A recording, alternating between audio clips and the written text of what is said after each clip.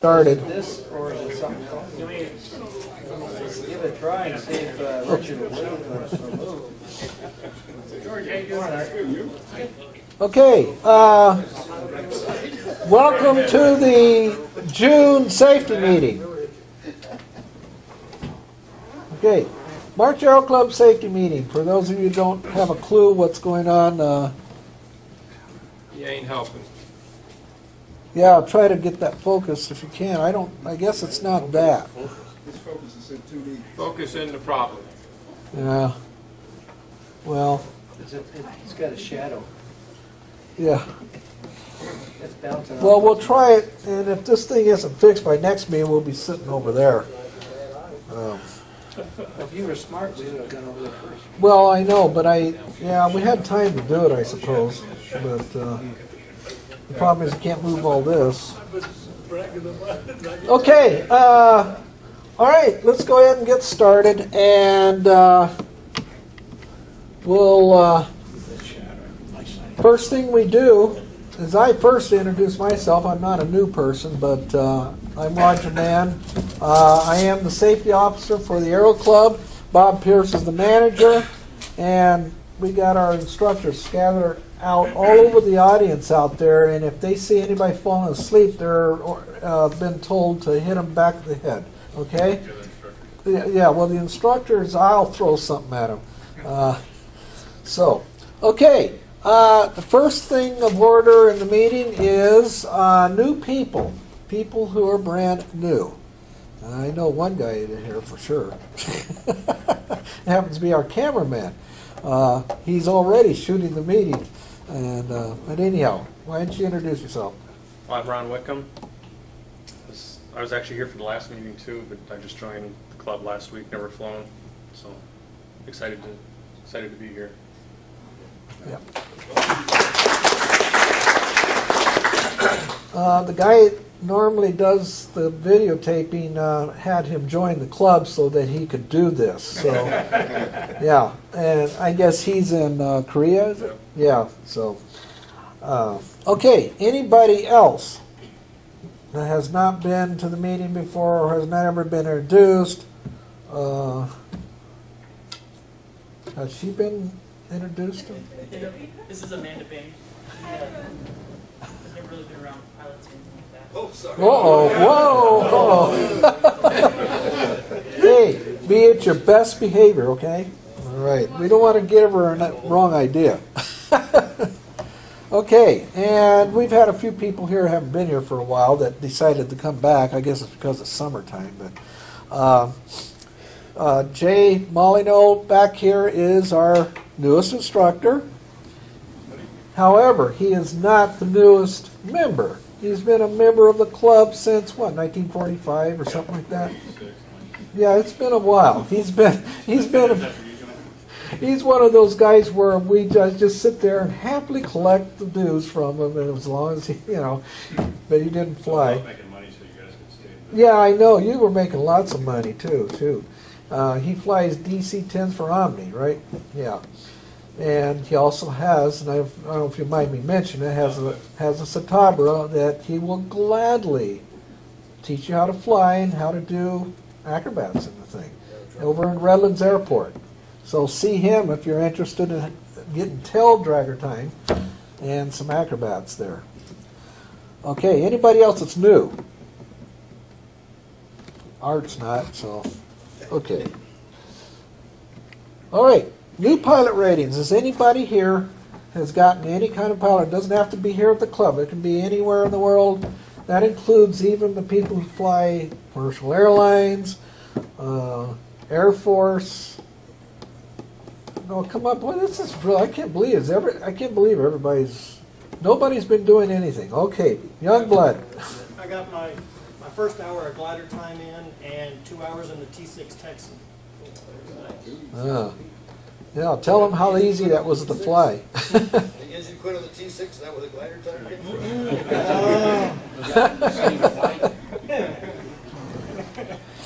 Uh, Great airplane now.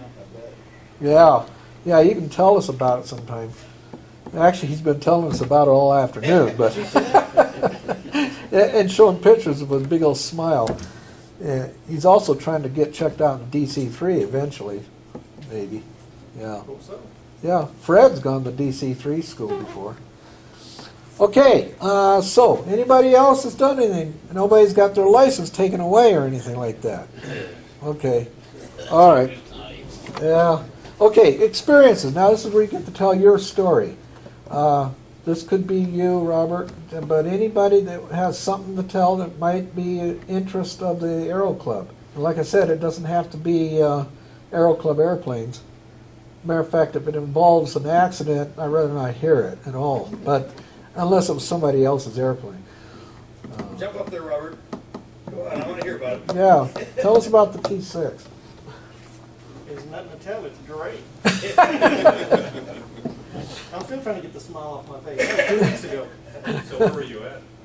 I flew it out of Fullerton over to Chino and then Chino back to Fullerton. Whose, uh, whose airplane was Uh, Daniel Woodring, he just moved up, he's now flying the F2. So, Planes of fame? I think it's, I think it's one from Yanks, I'm not sure. But I know he's, he's in the F2 now, so we'll go over in the text and then he jumps in the, the F2. Huh.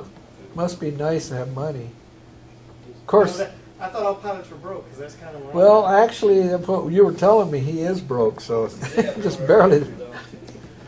All right, George, tell us another story. George, George is the manager of the Fallbrook Airport, so he oftentimes has stories to tell. French Valley, some guy uh, blew a tire on a Cirrus on takeoff last week, Yeah. and uh, I was trying to land there, and I figured I shouldn't be trying to land and get out of the area because it sat there a long time before anybody got off the runway. Huh. So that's what it was That's what it then. was a blown tire. Some guy had said it stalled, but it was a blown tire. Ah, okay. Because I remember you telling us about that, but you know we didn't know why. Yeah. Yeah. Okay. So what do In you? my airport, Ramona, a blown tire is off runway in five minutes. Yeah.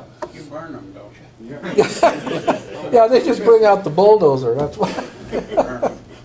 yeah, that's what they try to tell us with the Aero Club planes if we ever block runway three too. And Bob said no, and I, and of course they looked at Bob, and Bob just looked back at them, and they says, "Well, okay, we got to have a plan here." So actually, we kind of have one. Okay, anybody else? Nothing. Okay, next. Okay, uh, later on, a little bit, just a few minutes, we'll go into know your SOPs. Tonight, we're going to tell you about an addition that we put in the SO, SOPs. couple weeks ago, I was coming in on the left base to three, three two, or three zero, you know. or Yeah. Three two is the only one that's open, three two. And Tower told me, oh, you know, go ahead and do a three sixty for, take, you know, traffic departing. So I do a three sixty, and what, watch, he's got me doing a three sixty on the departure end of three two. This one, C seventeen's down there watching me go around in circles, and I'm going to the tower. Would you like me to move a little bit farther east for this uh, three sixty? And the guy on the ground saying, yeah, you know, he's right on the departure end, I can't take off with him there. You know, so finally he realized I was on the departure end doing three sixties out here. Well, So don't always pay attention to what the tower has to say. you know, he could have he could have flown right up in the middle of yours, you know, going around in a circle right up through the middle. If it was quick, he could go around there. Yeah, that's right. oh gosh. Let's do a three sixty, get the hell out of here, right? Okay. Uh, Aero Club manager will talk to him, or he'll talk to us rather, and then we'll talk about. Well, it's yeah, we'll kind of talk about night flying. It is now a safety gram that's out for this month. We have been mandated to talk about this. Okay, we'll talk about it in a minute, and uh, we'll talk a little bit about summer flying, and then that's it. Okay, Aero Club manager. You're gonna leave after I get done. Well, yeah, well, yeah. Don't be too long. Jeez, I don't know. Um, I've got a lot of, a lot of items, Yeah, and should be out I really somewhere. hate to bug you with it, but um, we're having issues with people who are entering the log, the Hobbs meter for their time on the uh, pay sheets. You gotta round up. We don't round down. So round up so that we don't have to take and uh, do it. If it starts to move, you gotta round up. It's always been the policy, and it's gonna go in the SOPs. Uh, Credit card slips. You gotta hold the slip in the machine when you start to use the roller. We've got one slip now, waiting for the person to come back in and redo it. But the credit card went across where you sign, put your signature on it. We can't accept it, and then he forgot to sign it, so help us out there. Um, If there's a problem with the aircraft, tell somebody. That's what we always say, come back and see Roger, come back and see me. If we're out of the office, leave a message so that we can come back and ensure that the aircraft can be either fixed or whatever the problem is. Whether you got low tires, you're out of oil, out of the locker. Uh, we've got people that are using the one fifteen, because there's no oil, they just grab one fifteen. Uh, how many people know what the one fifteen, uh, or the fifteen fifty is used for? What aircraft is it supposed to go into? Yeah, AMG, it goes into one eighty-two, it doesn't go into any of the airplane. So when you're paying seventy-eight dollars a case for it, it's kind of expensive, and you're just wasting the oil. And, uh, under our present situation, we can't afford that. If you don't use the aircraft, be sure and- put the cover on it. Sometimes, uh, the aircraft will be left there from the previous, uh, um, student or flyer because he knows that on the schedule there's somebody else there. And then you come in and you may find something there, or you may find that you're not gonna fly. Um, It's gonna be your responsibility to put the cover back over the windscreen to uh, keep it, uh, keep it clean and protect it. You can always come in the office, we'll be happy to go out there and give you a hand on that. Uh, T forty-one drivers, you gotta clean the windshields, clean the leading edges, since we're in the bug district now. During the summer months here, we got bugs all over. And help us out by wiping some of the bellies down. That's what we have the, um, the sprayer for. It's got uh, pledge in it and water mix. I'm not saying you've gotta take and use everything and spend two hours on it like uh, Ken Benner used to do and use goop and then wipe everything down. But we do have a couple oil leaks. We're trying to solve those leaks uh, around the alternator system. So until they can get into the hangar and uh, be pulled off and then resealed, you're gonna end up with oil on the belly and oil on the landing gear. If you need rags, come and see Roger and I. There's always rags that are sitting, they've been sitting on the floor now for almost three weeks. So there's rags that are sitting by the tote boards. Uh, grab it and clean the airplanes. Help us out. Everyone is part of the club and it's uh, your responsibility to keep it going just as, as it is for us. Um, we covered the oil, 15 Foxtrot. Uh, I have a real issue here. We're trying to keep data on the engines to find out if we have a maintenance problem or not having maintenance problems. But if someone could tell me how an aircraft can fly for 15 hours on one quart of oil, it's beyond me. Uh, It's totally impossible. It's not like your automobile. The way these are designed and the way the chokes are in the, in the cylinders, they're gonna pump oil. So if you put a quart of oil in, it goes on into the computer system, which is that it should be on your invoice showing a quart of oil was used, or when you checked in the aircraft, I should have a database in there saying that you've used a quart of oil. But fifteen hours without a quart of oil, something else. Two nine Foxtrot went uh, almost eight hours without adding a quart of oil. Airplanes don't operate that way. Um, I think David G. talked to you last month on glare shields. Keep everything off the glare shield. The, the uh, new can, new uh, windscreens that we've put on are all becoming scratched, including the 182. That's a $300 windshield at our cost. And when you start putting your stuff up there and then it slides down and it starts scratching, there's no way we can take those scratches out. If you're uh, uh, an individual that sits fairly tall in the seat, that's going to become a distraction to you. So think about your fellow pilots and keep the stuff off. There's plenty of room between the two seats to put something on the floor instead of putting it on the glare, uh, the glare shield. So help us out in that regards. And that's all I got. Thank you. Okay, thanks, Bob. Okay, um, knowing your SOPs, okay, Bob just mentioned it just now. Uh, Down at the bottom of the paragraph there, it says all times will be rounded up to the next whole number. That's the new addition. It's in uh, chapter 1 and paragraph 621.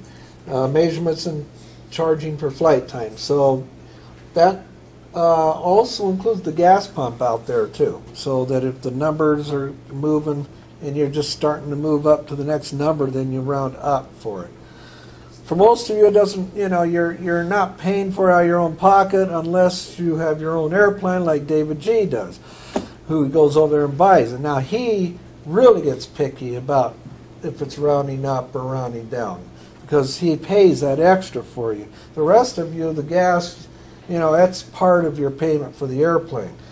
But uh, try to be, you know, fair because if somebody like David G comes up with his airplane and somebody rounded down instead of up, you know, he has to pay for your part of the gas that you didn't do it right. So try to be courteous with that.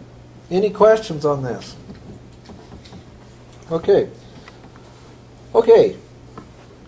Um, how many of here have uh, read the safetygram for June so far? I know that you guys, all you guys that's flown should have. Um, we were sent a safetygram, and on the safetygram, it was about a scenario that took place with an aero club. You- Of course, he does not identify the aero club uh, for obvious reasons. He doesn't want anybody to start, you know, going, hey, hey, guess what they did, you know. But um, in his, this is this. These statements right here are from Eric Treeland, who is the head of all aero clubs in the whole world. He's the guy that's in charge of them at uh, San Antonio, Texas, and um, he sent this thing out, this, this safety gram out on this incident that took place. And what we'll do is run over it real quick. Um, the attached flight safety lesson, which was there's an attachment to this, uh, and it, on the um, on the uh, safetygram, when you go on the computer, there'll be this statement on there, and then there'll be the the the incident and and what happened and all that kind of stuff. And it's just the stuff we're running over right now. Uh, technically speaking, you can say that you've seen the safety gram for this month after this, uh, but you still have to sign it off on the computer. Um, the attached uh, safety lessons learned uh, detail in the Aero Club aircraft that experienced an electrical system failure in the local pattern at night. The pilot used his superior skills to get the plane down, uh, but he didn't use too much. Uh, his judgment was just a little impaired. Um, they taxied across a runway uh, with an active tower, and it was an active runway, and apparently there was planes flying too. Um, so, getting into what happened. Okay, the problem communicating with ADC in the dark without a radio. Okay, the scenario is is that the pilot was coming in for a landing, and on downwind he discovered that you know his everything, his lights and everything started getting dimmer and dimmer and dimmer, and the next thing you know he lost electrical power. Well, that means, of course, no radio contact or anything like that. So he went in and uh, with no electrical power or lights, no means of communicating, the pilot cleared for, for other traffic and made a safe landing. So everything worked out okay. Once safely on the runway, habit patterns took over and the pilot exited to the left. Okay, he gets into a little bit later as to what's going on here. He went to the left because that's his familiar surroundings are, that's where the Aero Club was. The Aero Club was to the left. So he went and taxied to the left. The Aero Club was about a mile away. Okay? Well, while he's doing that, he was kind of concerned about not being seen by any of the aircraft because he didn't have any lights. So he kind of maneuvered around and he ended up crossing over the active runway, right over the right over it. Um, so obviously, uh, he by crossing that runway, that kind of got him in big trouble. Also, the Aero Club too. All right, now the options that he could have had is find another means of tower communications. How many here fly with their cell phones? I mean, I do. I, I almost know everybody has their cell phone with them. One of the things that he could have done is use his cell phone to call the tower. Just get off the runway, stop, and don't do anything. Jay? But the towers are restricted numbers. You beat me to it, that's exactly what it was. How you Yeah, gonna well- call a tower if their number is restricted? Yeah, but it, well, it was an Air Force base, so I mean, he could They're have. still restricted. So, Police okay, then what's the numbers we have up here? We've got it, and, and that one, we've got the number Yeah. because the guys came down and gave it to us, but they're restricted numbers. You call a base operator and say, hook me to the control tower. Yeah, It's all You gotta restricted. call base No. I'm- I, I Well, yeah. understand what you're saying, yeah. but what could the guy have done? How would he, without the, Well, can't he- use lights to tell him he wants to cross? Well, no, but that is one of the things. Well, well, this is what goes into it. Let, let's finish before we start discussing, Yeah, yeah. okay? Okay. Yeah. Uh, he also could have had a portable transceiver, which he didn't have. Well, actually, I think he did have it, but it uh, it was not. It wasn't either working or something like that.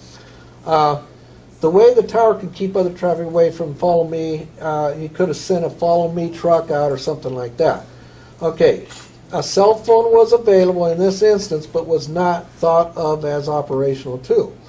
Uh, carry a flashlight at night. Okay, he had a little flashlight, but there wasn't really, you know, much that he could do with that little flashlight. Um, in this case, uh, the red lens flashlight couldn't be seen from the tower.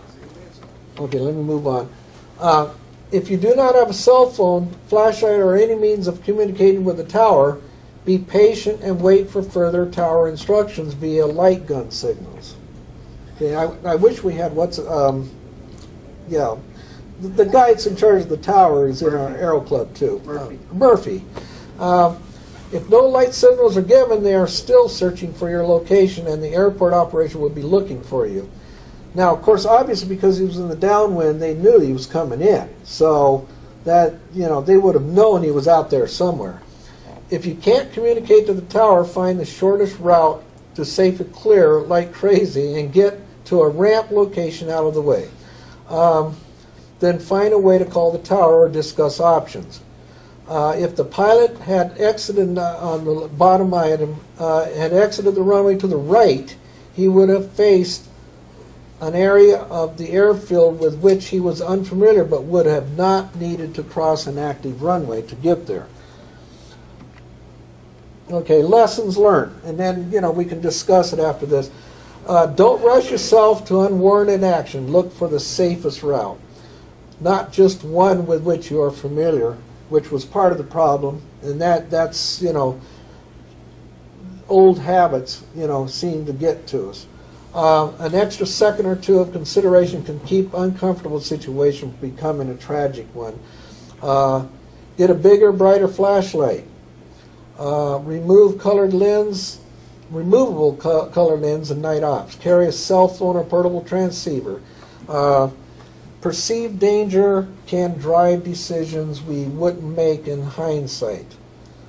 And of course, he puts in there what the opposite of hindsight is, is forethought.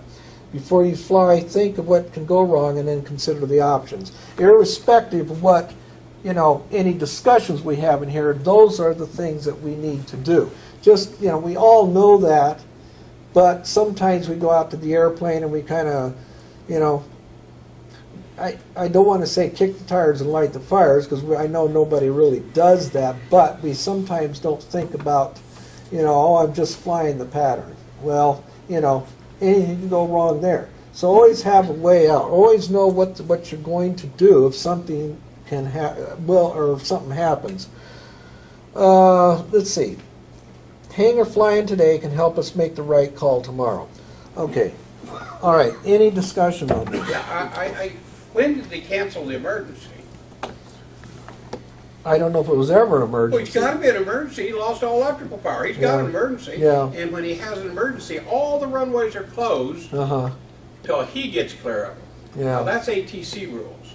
So if Okay. ATC didn't see the airplane, he owned that whole airport, ain't a guy flying and don't know it. But did he talk to ATC? Yeah. Well, he can't, because he lost I electrical said power. before he lost his power. See, he was in Before he lost power, he Did didn't have an he lost his emergency. power? No, Yeah. I'm saying is that I agree that there's a lot of things you can do about it, but the guy didn't do anything illegal. I'd have violated air traffic control myself Okay. because they're not observing the airport. Yeah, but see, I don't. Oh, but I who- do know, Roger. No, no, I've no. 20 years in the business. I do know. Who would have declared the emergency? The ATC. pilot.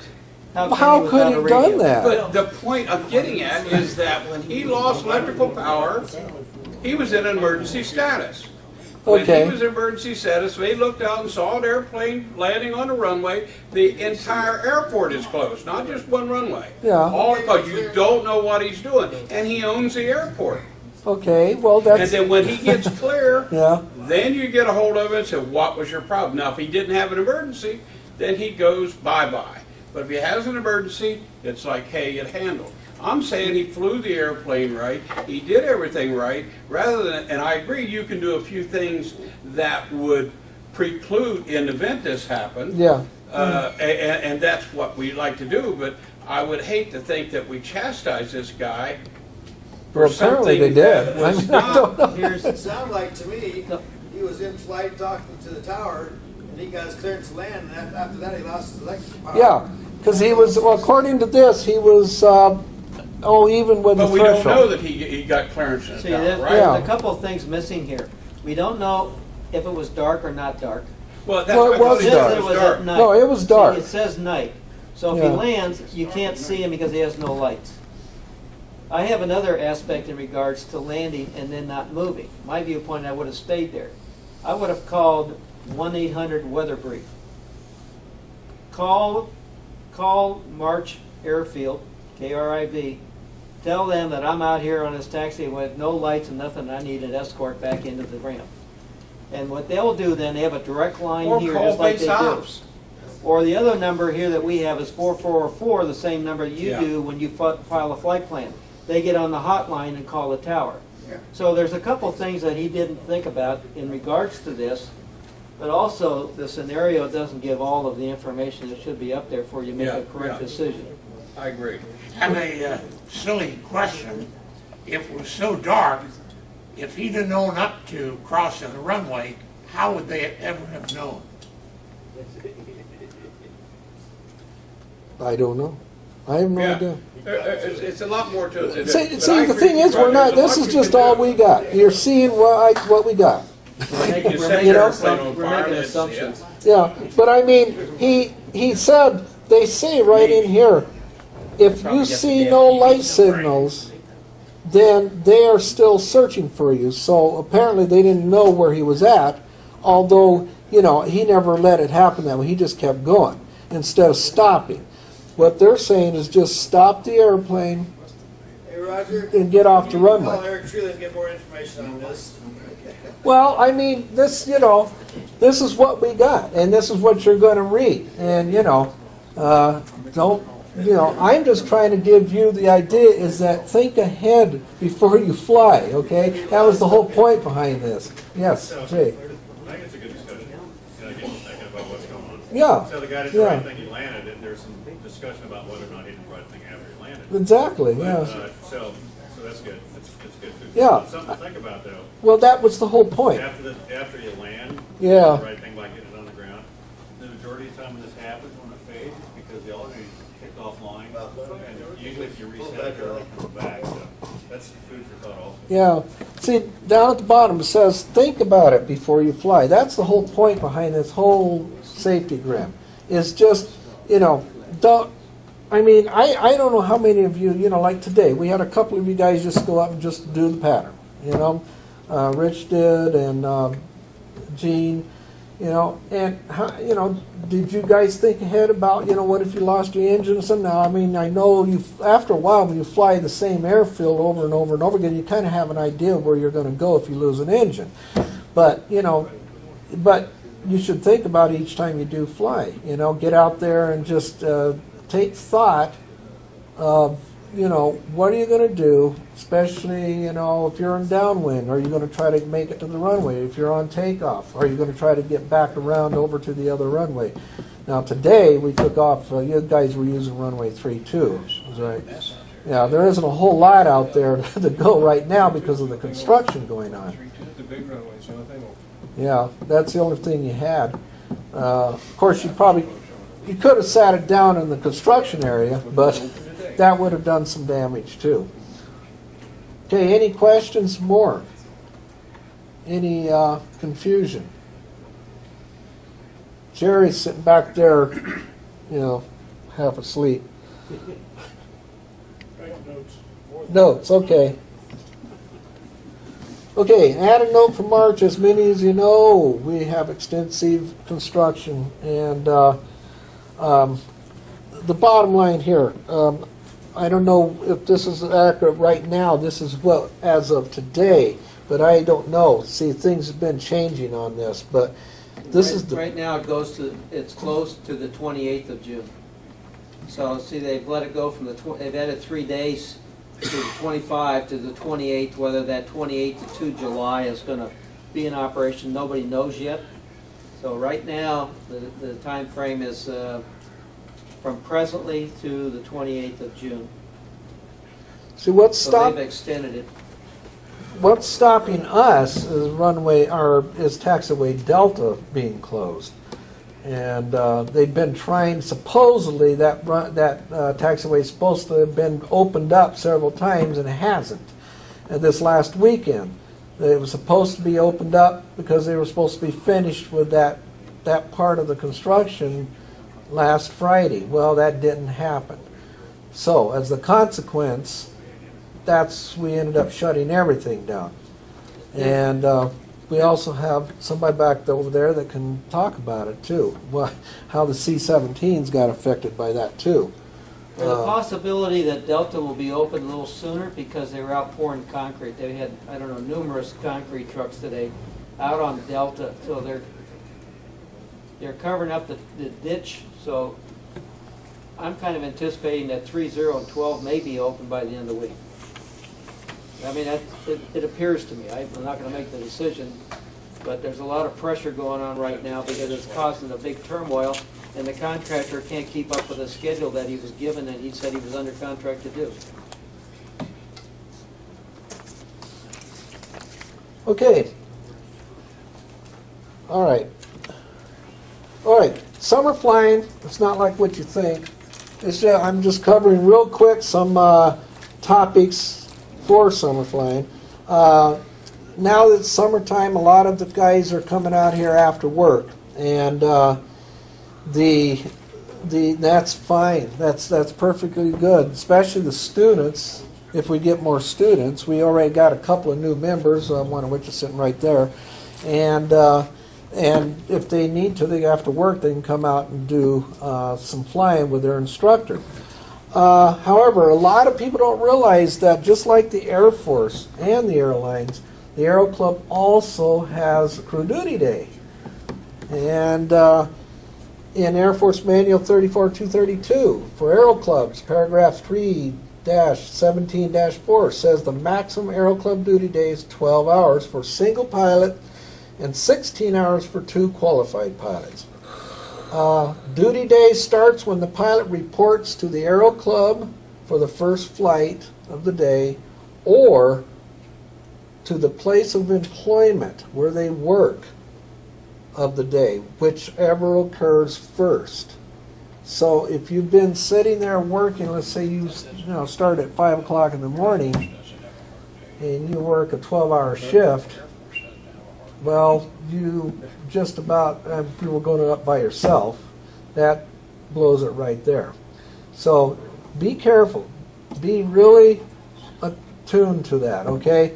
Um, the the, I know when I used to fly in the 141, you know, we would put in a all day work, an eight hour day, but we really had to be careful that we didn't break the the, the crew duty limit for that day. Um, okay, second paragraph. Even though you are in the limits and you know that you can stay within those limits, be aware of how tired you are. Okay, fatigue from working sometimes can really catch up to you, and you might feel real good when you go out and doing your pre-flight in the airplane. But if you happen to be doing something, especially if you're doing something where you're going to go any kind of a distance and back again, you don't want to get there and start heading back, and all of a sudden, uh, you know, uh, how many of you know what I mean when I say the sleepies hit you? Kapow. You know, and it's like all of a sudden it just hits you. Just be aware of what your limitations are and just what can happen, you know, if you get out there and uh, you don't, um, you know, you don't want to get to some place and and make the wrong judgments because that's when the judgment gets impaired too. Um, any questions on this? Any additions? Okay, density altitude, real quick. Okay, it is summertime. Density altitude really becomes an effect. Of course, it is down here in Southern California all year round. Um, uh, we should be, uh, you know, as it approaches, we need to be aware that during the summertime there's some limitations. A lot depends on the kind of airplane you fly and how much fuel you got in and all that kind of stuff. But the biggie is density altitude. Density altitude kills more people every year, and it's amazing how many people completely ignore density altitude. I just cannot believe it. It's amazing. I mean, I, I'll read some safety reports and, and, and I've talked, I'm not myself, but they've talked to people who have survived crashes, and they, well, I've been doing this for years, but they added just a little bit of extra fuel, added that one more suitcase, or added that one more passenger, or whatever. Just be really aware of density altitude. Um, uh, let's see. Cause okay, how many know exactly what density altitude is? Any of the students should know that right off the top of their head. I know Robert Youngblood does. He knows everything. Well, almost. So, um, and all of you guys that fly jets, yeah, remember when you're flying a propeller airplane, it, it's worse. Of course, I know you can feel it in a jet too, but not as much.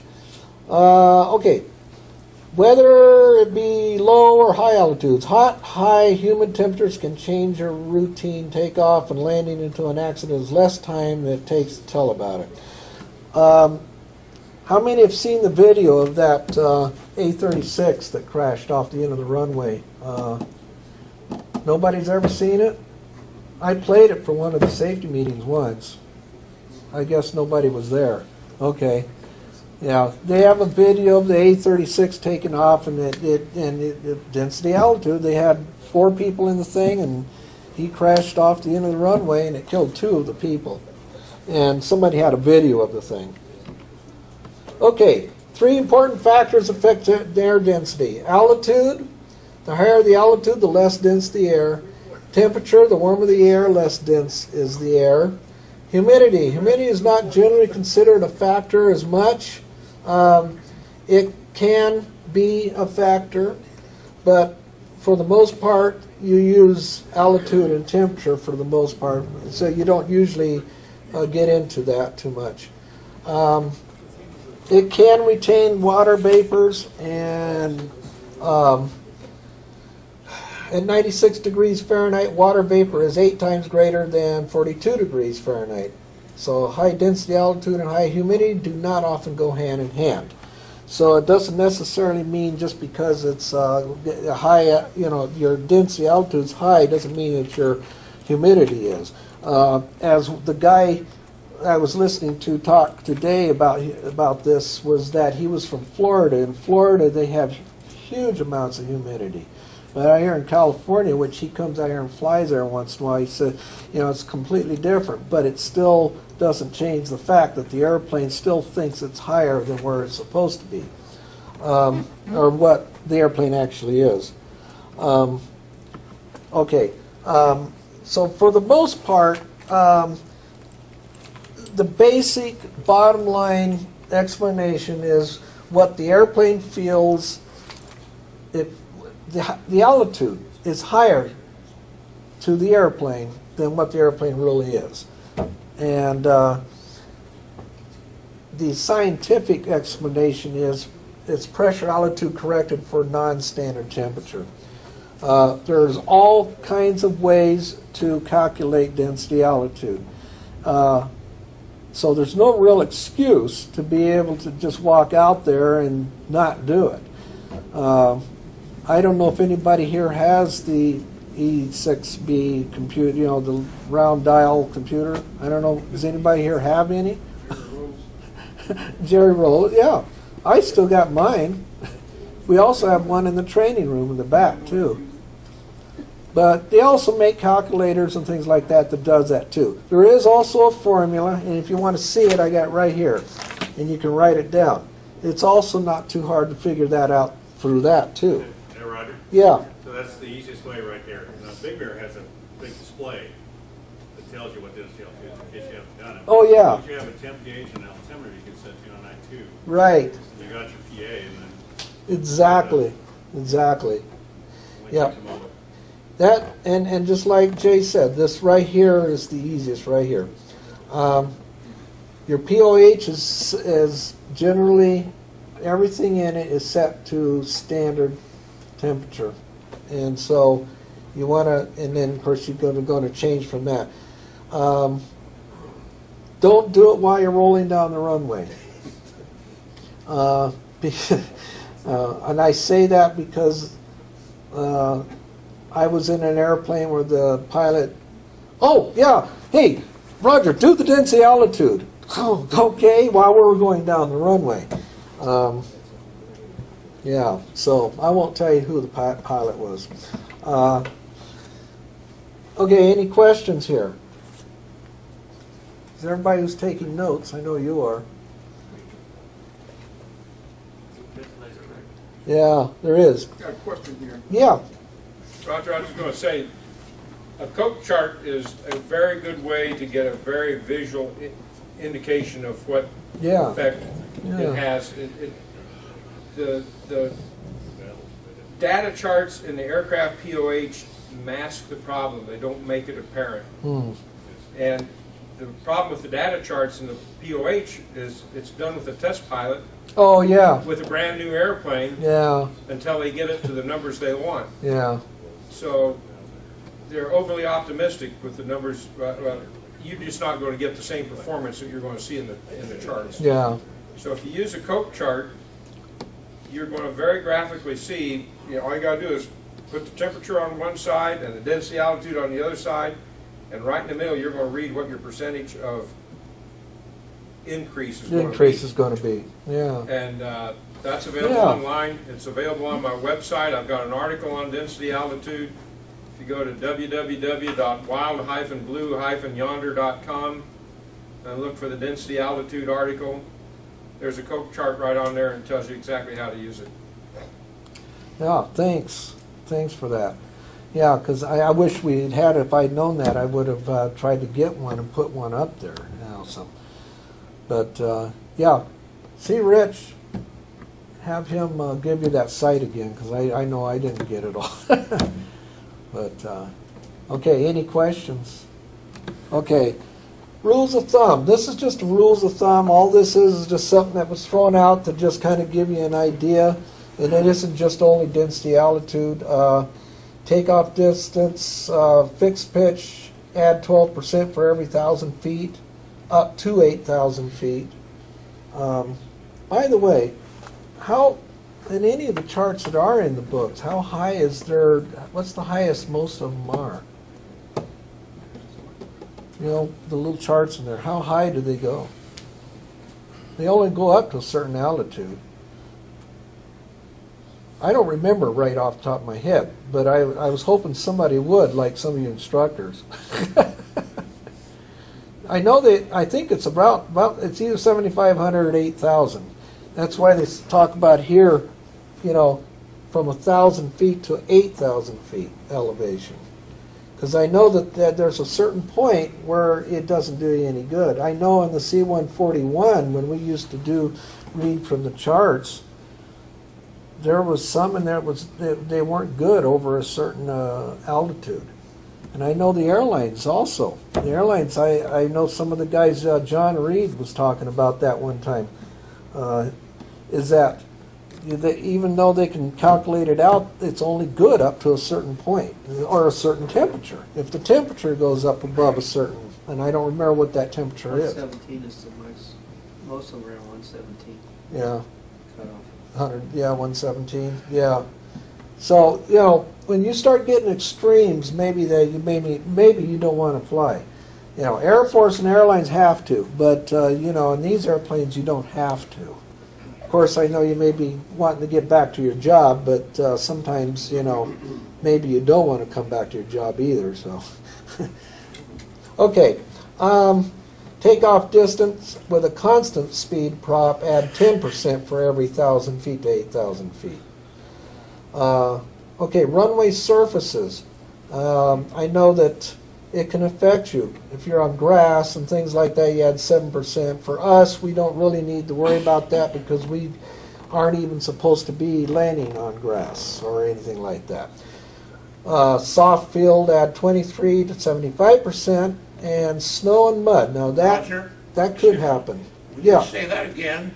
That Aero Club airplanes are not allowed to land on grass fields? Right. Yep. Grass or dirt. Yes. In the two thirty-two. Yeah. Yeah. Aero clubs, frankly, have never, ever, ever allowed you to do that. Even when I was in the Aero Club way back in, uh, back in those days. Um, never have. Um, but there's a possibility you could end up in snow and mud, I suppose. I mean, you know, here in California maybe, but uh, actually you could end up in some place where you, on the runway you could have snow. And usually if you have snow, don't bother doing it anyhow. But it will add 20% to 50% to your runway takeoff if you do. Uh, maximum depth for takeoff in water and slush and snow. Like if it's rain. Sometimes here we do get some pretty heavy rains here. And I, Bob and I have stood there in front of the Aero Club and watched these huge storms coming across. And I mean, it rained so hard that the whole ramp was like about that thick of water. And uh, so, whenever that happens, if you happen to be out there, just don't take off. But they don't want you to, you shouldn't take off with a half inch or more. And, uh, and of course, the chances of us getting into snow, uh, really, you probably, it's nil, but if you do, it's uh, wet snow, you don't want it to be more than one inch, and dry snow, you don't want it to be more than four inches. And of course, there's many, many, many other variables. And I don't know if you guys are writing notes. There's a, a site that you can go to, which uh, gives a lot of, uh, um, you know, uh, other variables that can take place in affecting your flying of the airplane. The big thing I wanted to get to is density altitude tonight.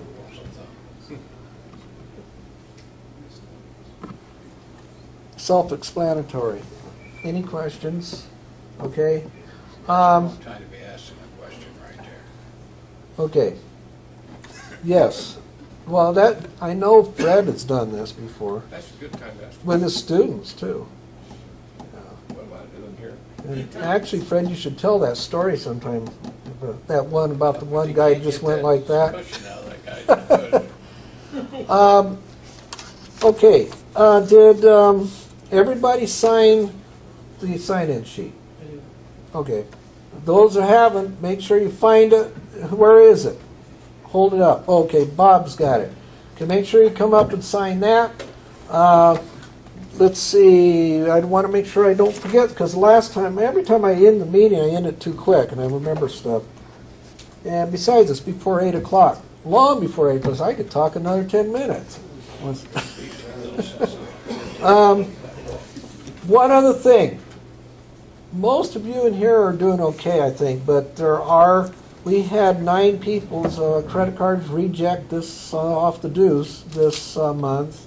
Uh, out of the nine, four people uh, paid already. Uh, there's still five or no, yeah, there's no, there's one guy's paying another tomorrow and then, okay, so there's about four people still yet that's, I haven't been able to get hold of and talk to. So, if your credit card gets compromised or your credit card gets lost or you get a new credit card, please tell me. You know, try to remember. I know it's I've, I've done it too. I've done the same thing, but try to remember to let me know and give me the new credit card number. And one other thing, your personnel files. Okay, um, a lot of you are really good at bringing in your updated uh, physicals and signing your uh, covenant not to sue, but please try to remember to do that. Remember, every year you have to take, for those that are qualified pilots, have to take the standards test and the SOP local procedures test every single year, and you got to go up with one of the instructors to get a annual. It's not really a check ride, but it's an annual ride with an instructor that he just checks you out to make sure you haven't picked up any bad habits. If it happens to coincide with a with a BFR, a biannual flight review, you can have them both. But remember, when you do the BFR, then you've got to be doing the whole scenario, the whole thing. I think it's an hour, Fred, is it? It's an hour ground training and an hour in the airplane, nothing less than that. Not if you do it through wings. Oh, yes. wings. How many know about wings here? Okay, a lot of you do. Yeah. If you do wings, that'd be the way to do it. The Aero Club's check ride for for their annual is nothing. I mean, all it is is just to make sure that you haven't picked up any bad habits. That's all it is. The instructor goes up there and sees if you're doing everything the way you're supposed to be doing. But you can, like I said, if you haven't done it through wings, then you can do it from the Club. Okay. Um, Can I give an example for density altitude? well, if you want to do that, yeah. Um, We'll do a contest real quick. Okay, if, I'm not, well, what I'm gonna do is say that those who want, need to leave, you can leave, but, uh, uh, Bob wants to do something, uh, show a quick, uh, thing on density altitude here. So, ready? I, have a suggestion to, um, one of the other club members and I were out flying, and I think it may be a good idea for people to go out and fly, get a flying partner, and, uh, pick up some bad habits and good habits. I wouldn't do that. I do it better than he does, or whatever. And it's, uh, easy on the pocketbook too. Just a suggestion. Good word, sir. yeah. I know Flying that, Partner. I do it all the oh, yeah. I, I, I almost always try to fly with somebody else. I, I don't, I don't like flying by myself. I guess because I flew in the 141 where you had a crew of uh, at least five, and I got used to that. So I can't get five into the 66 November, but at least I can try.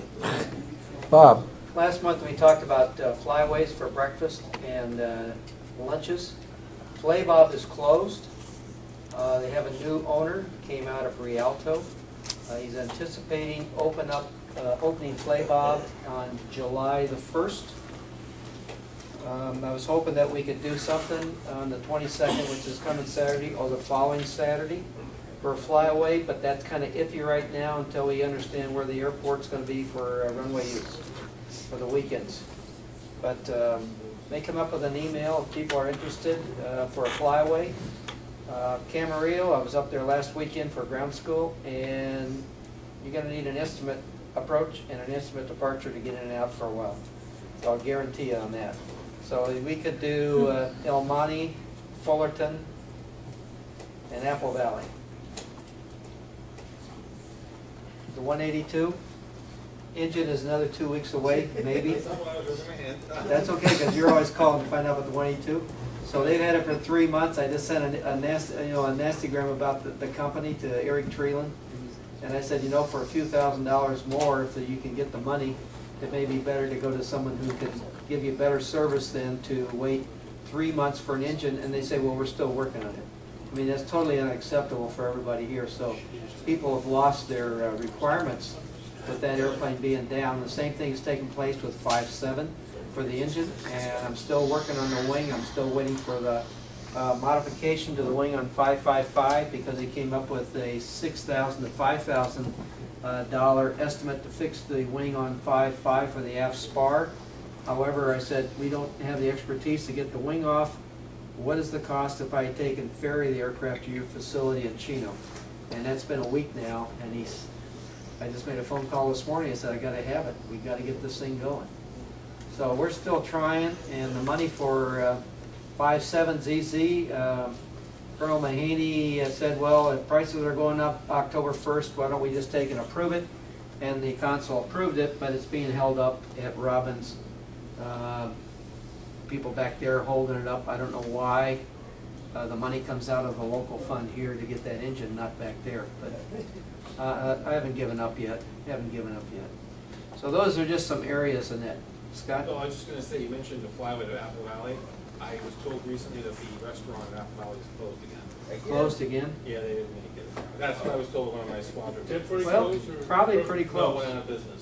Yeah, Richard? July twentieth is the uh, summer barbecue at Catalina, if you want to think about doing that. Well, not everybody's I qualified. That's, understand, yeah, that's I'm one just of our. saying, it's a possibility for those that Well, are. but- yeah. Uh, It's a great barbecue and it's a, it's a fun party. Well, that'd be the way to get people qualified. No, Yeah. You missed a good barbecue in Redlands uh, last Saturday from the Masonic Lodge, seven hundred pounds of uh, beef and pork. You can barbecue down at George's house. Yeah, I know. I don't have any more pork. Okay, uh, I want to cover just a couple things here. We'll get some answers real quick, like on uh, density altitude. What's the altitude at uh, Big Bear Lake is what? Sixty-seven, what? Sixty-seven fifty-two. Okay. Okay, the temperature is seventy-four degrees. Temperature is seventy-four degrees. Altimeter is two nine eight eight. And we'll use uh, twenty-eight percent uh, of uh, dew point spread. What is the elevation, what is the density altitude roughly ballpark figure? What's the temp? What's the temp, Laura? Seventy-four degrees. Around nine thousand. About nine thousand, ninety-one ninety. You said dew point spread what?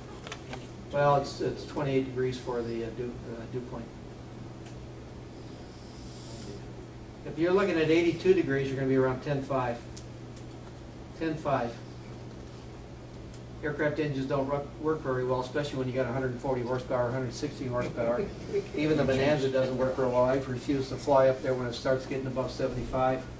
And I just wait until the winter months come and I go back up. That's just me. Uh, Especially when I have to use an extra ten percent on the runway with tip tanks. Um, If I have a hundred and forty horsepower engine with the same requirements that I just, or the same parameters that I just gave out on you, any, any ideas of what the uh, uh, horsepower rating would be? And we're talking about a new engine. Hundred and forty horsepower at sea level, what's it gonna be at the density altitude at Big Bear we just talked about? It runs about ninety-three hundred feet is where the density altitude for those temperature ranges. You know, if the- if the altimeter's off just a little bit, it's gonna vary. Any ideas? How much horsepower am I gonna produce with, with the parameters I just gave you out of a Cherokee, we'll see, or even out of our, our Cessnas, which are produced about hundred and forty horsepower? How about hundred and five? That's why they always end up in the lake. You know, it just doesn't work, guys, so, like was said earlier, they have a big neon sign on runway, is it two four or two six, correct me if I'm 26. wrong, two six? And it says your density altitude is such and such. And it's a reminder because if you go into operations, they actually have a chart in there, and you're welcome to pick one of those up and take it with you, and you can calculate your density altitude off the, off the chart. And it holds pretty, it's pretty close. It's pretty close. The other thing you can do is just get on Google. Uh, I can't pull it up, Roger's right, you gotta have the, uh, website available to. There's the- an app for that. Yeah, there is an app. Anyway, uh, John's got the answer to that, but you can just go, just Google density altitude, and you look at the English metric system, it's about the second one down on the drop line. Open it up, it was developed for engineering in regards to automotive racing, and for there, you can figure your horsepower rating on an altitude. And don't forget, here at March, when we start getting up to hundred degrees, you know, 90, uh, 3,800 feet, 4,000 feet for an, alt, an elevation of 1,547 at the, uh, at the Aero Club. Very common on a daily, on a daily basis. So you're gonna eat up runway to get to your flying speed. Just remember that. Thank you. Okay, no other questions, next safety means 16 July.